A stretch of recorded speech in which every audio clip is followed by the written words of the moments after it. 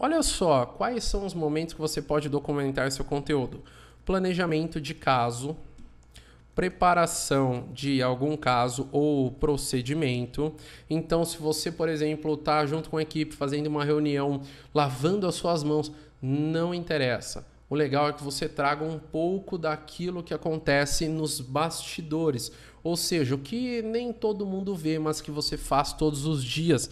Você pode pegar ali um pós-procedimento, não com o paciente, mas você e sua equipe, ok? Você pode pegar também uma análise de caso, onde você não vai mostrar antes e depois, mas você vai comentar o que foi feito tá? Então, documentar conteúdo está diretamente relacionado àquilo que faz parte do seu dia a dia.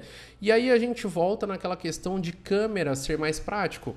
Então, veja, se eu tenho um espaço reservado para o meu celular ficar ali, quando eu vou fazer algum procedimento, preparar um procedimento, planejar um caso, ligo o celular e gravo tem muita coisa que vocês vão gravar que não vai ser utilizado. Você pode recortar, você pode jogar no lixo. Nem tudo que foi gravado vai ser utilizado.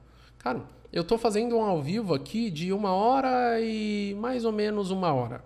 Ele vai fechar com uma hora e 20 minutos. Eu vou separar mais ou menos aí uns 20 minutos disso aqui e distribuir mais tarde em outras redes.